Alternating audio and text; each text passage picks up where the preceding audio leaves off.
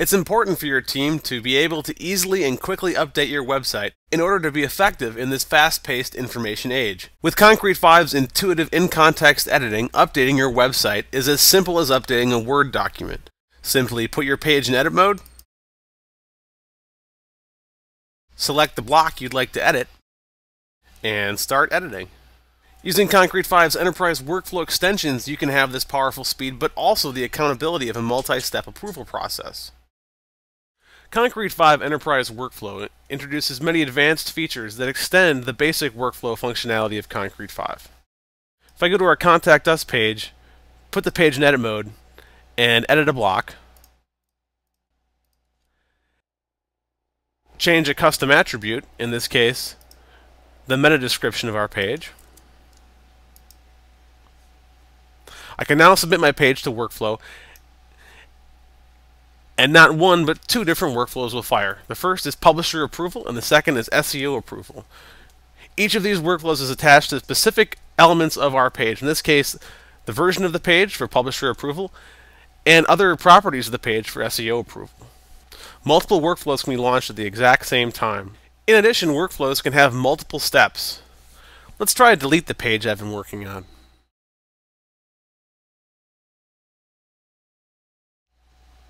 When I delete the page, I get a red bar across the top of my screen saying this page has been marked for deletion. It's been submitted to publisher's approval. Now if I log out and log back in as publisher,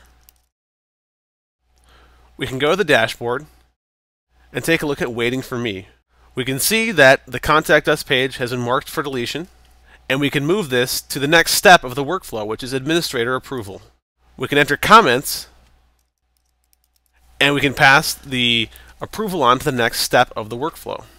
To see what this workflow looks like from the dashboard, we can check out Workflow List. Since we were deleting a page, we were using the delete workflow. As you can see, there are three steps, a publisher's approval, administrator approval, and internal review. Each of these steps has an action defined for approval and denial. For approval of the first step, we set it to, to proceed to step two, administrator approval or cancel the changes.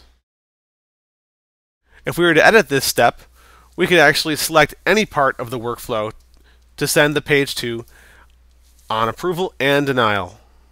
So workflow is flexible. You don't have to go forward or backward. You can jump around from step to step as you see fit. You can also control access to who can approve and deny on this workflow. Right now we just have the publishers group selected. If I wanted to add an access entity to this, we can choose from any user, group, combination of users that we like. We could give administrators access. We could give a specific user access to this workflow step. And they'll be listed here. In addition, we can also exclude users from being able to approve or deny pages. Users, groups, or combinations. For instance, if we never wanted subadmin to be able to approve or deny in this first step of the workflow. We could select them here, and they appear in the excluded list, which means they could never approve or deny pages during this step of the workflow. Naturally, as we work with the multiple step type workflow, we can add as many steps as we like. Finally, when the workflow ends, the page is approved and the workflow is complete. We also have a third type multiple step page.